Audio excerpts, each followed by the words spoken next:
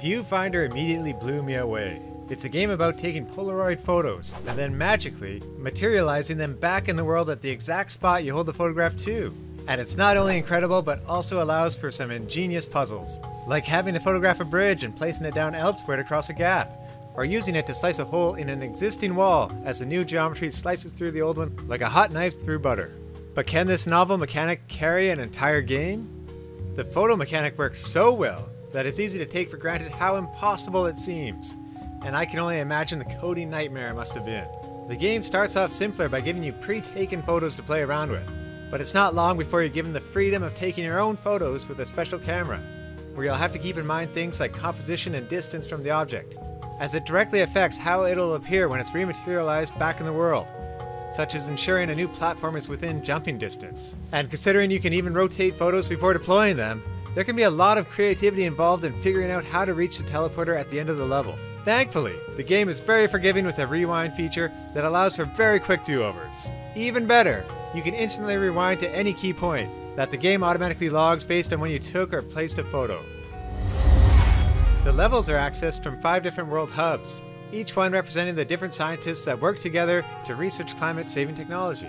Now you're there long after these events occurred, and you'll learn about their story and struggles by what they've left behind, including post it notes, audio recordings, and uh, talking AI cat.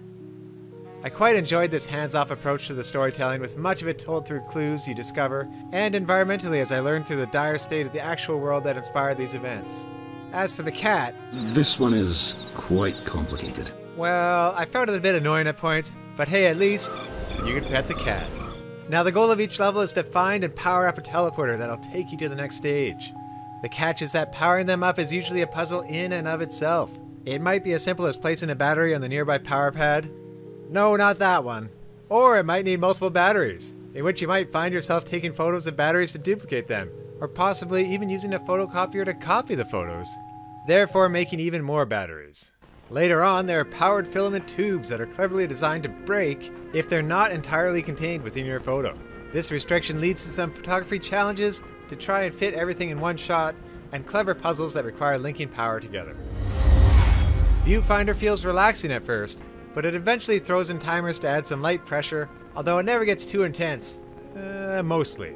The small level size combined with the limited amount of photos you can take ensures the amount of options never feels overwhelming. Even when puzzles demand some creative thinking like photocopying specific elements, or even taking photos of photos. Although there are times you might be able to cheese your way through, a bit like how you can solve some shrine puzzles in Tears of the Kingdom.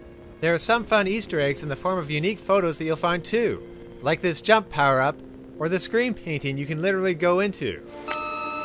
While they're mostly just for fun, some also serve as backstory for the characters. For better or worse, the game takes away the camera for a period of time near the end of the game and focuses instead on puzzles with a color filter into the world that you need to match up with another color pane to move on.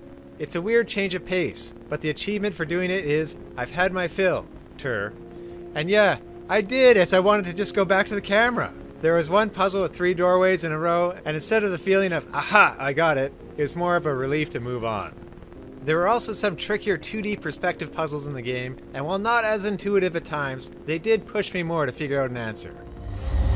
Now hear me out. We had a lot of time during the Viewfinder review period, which made me worried that the developers knew I'd get stuck on certain puzzles for hours. But that never happened. Which on the one hand was nice that I never truly felt impossibly stuck, but on the other, I wouldn't have minded a bit more of a difficulty curve, at least on the optional challenge levels. Since I found myself usually figuring out a puzzle in two to three minutes, the ahas and sense of accomplishment didn't feel as high as it has in other puzzle focused games. Thankfully, the last world is pretty fantastic. Perhaps the most stuck I was in a puzzle was this partially open drawbridge in a very early level, where I even knew I saw what to do in the demo, but forgot and was thinking, do I have to rotate the picture in such a way for gravity to bring it down? No, I overthought it and there's simply a handle nearby to pull. Fortunately, this is an outlier to the main game. The story does end in a satisfying way, with a cool final level that's both unique and offers a good challenge.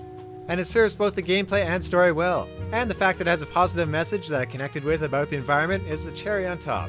Although I preferred hearing the scientist stories more than hearing from the cat by the end. Overall, Viewfinder's core mechanic is outstanding and brilliantly polished, but I feel it could have done even more to push its limits. The story and setup was well done and kept me wanting to find out the end of the mystery, but does f-stop short of the excellence of something like Portal. While it didn't end up as a surefire Game of the Year contender I had hoped it would be, I still like Viewfinder a lot, as it offers a polished experience featuring a unique mechanic I haven't seen anywhere else. Thanks for watching and take a look here for more from GameXplain.